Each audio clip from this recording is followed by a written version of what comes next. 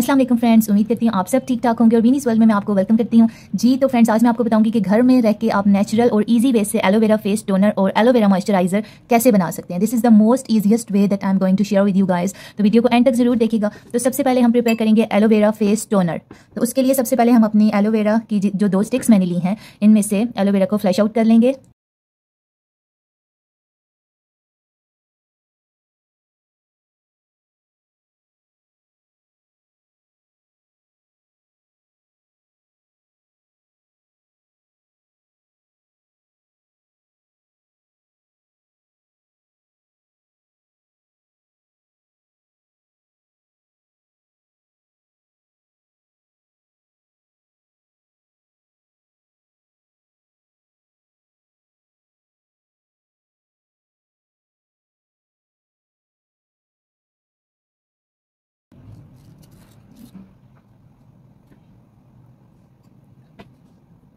जी friends तो aloe vera toner बनाने के लिए मैंने एलोवेरा जेल को फ्लैश आउट कर लिया है। तो आइए मैं आपको नेक्स्ट स्टेप दिखाती हूँ कि नेक्स्ट स्टेप हमारा क्या है।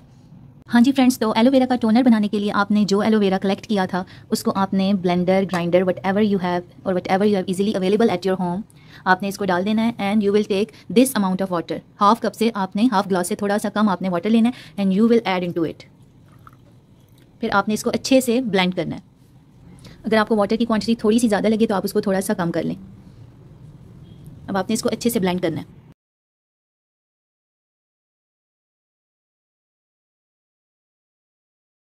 नाउ यू कैन सी अभी अच्छे से ब्लेंड हो गया है। Now you will pass it through a strainer this is our aloe vera juice for our aloe vera face toner now we are going to strain our aloe vera juice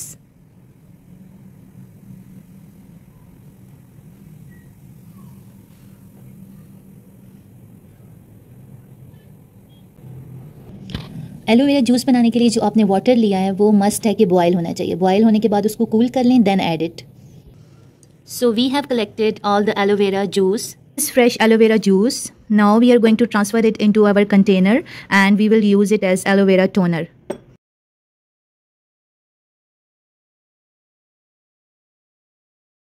see guys I have collected all the aloe vera toner in the and it is ready to use. Ta-da!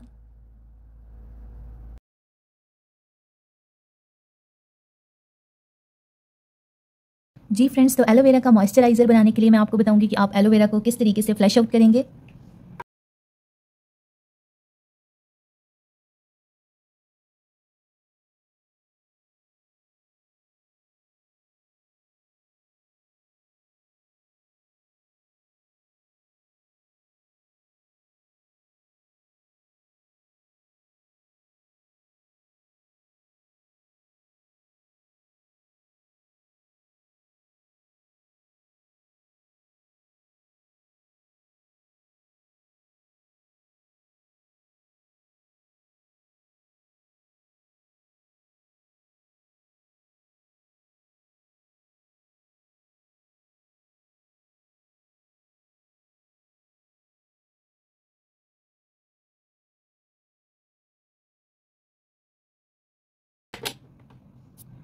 ये देखिए, इस jail की form में आपके पास aloe vera collect हो जाएगा। अब आपने इस एलोवेरा को स्ट्रेनर की मदद से स्ट्रेन करना है। जी फ्रेंड्स तो मॉइस्चराइज़र बनाने के लिए जो हमने एलोवेरा को स्पून से कलेक्ट किया है, उसको अब हम अच्छी तरह से स्ट्रेन करेंगे, ताकि हमारे पास एलोवेरा का एक जेल आ जाए।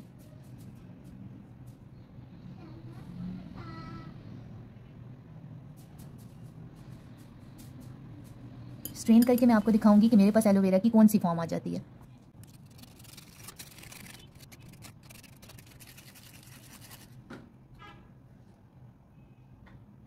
आप देख सकते हैं फ्रेंड्स एलोवेरा को मैं स्ट्रेन कर रही हूँ और मेरे पास एलोवेरा का जेल आ रहा है। इसी तरह से आप इसको स्ट्रेन करके ये जेल आप अपने पास कलेक्ट कर लेंगे फॉर मॉइस्चराइज़र मॉइस्चराइज़र बनाने के लिए।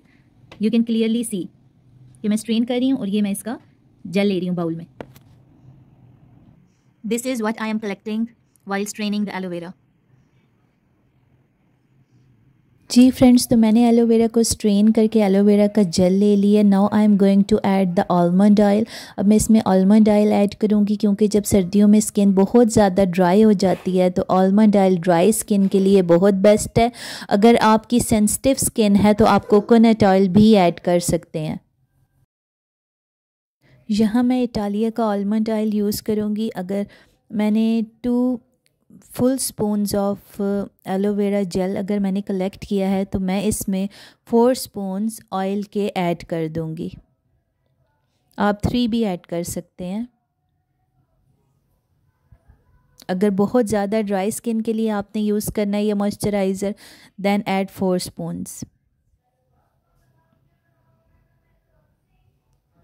mix it add now add this mixture into a blender and blend it well आपने थ्री टू फोर मिनट्स तक अच्छी तरह से ब्लेंड करना है ताकि ऑयल जो है वो एलोवेरा में अच्छी तरह से मिक्स हो जाए।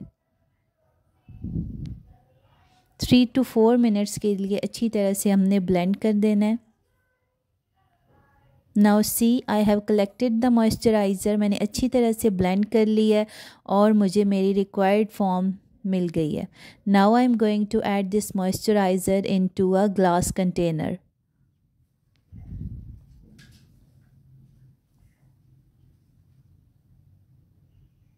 अब मैंने ग्लास कंटेनर में इस मॉइस्चराइज़र को ऐड कर दिया है। Now see it's ready to use आप इस टोनर और मॉइस्चराइज़र को वन वीक तक के लिए रेफ्रिजरेट कर सकते हैं और यूज़ कर सकते हैं।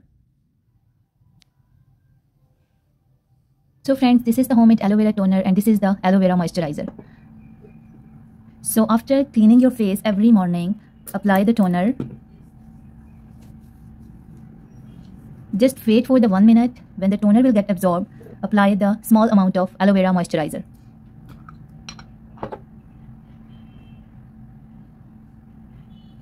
And get the best results. Thank you. Hope you like my video.